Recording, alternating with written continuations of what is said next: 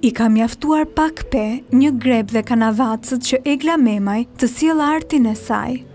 Në një ekspozitë krejt të veçantë, të quajtur Epitaf, artistja sjell zbërthimin e epitafit të Gllavenicës, një ikonë e qëndisur që ka arritur kulmin në Mesjetë.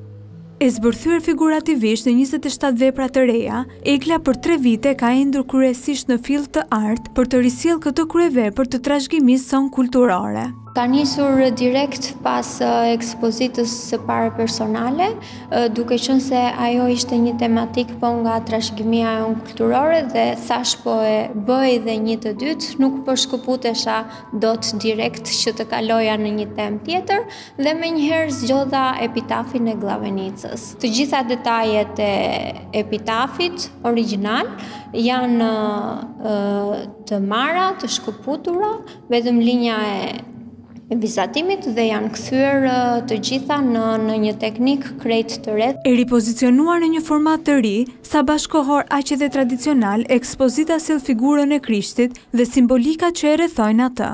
Për mua në fillim ishte si një lloj sfide, sepse nuk e kisha provuar më parë qëndisje plus bojë që ta ktheja në kanavacë.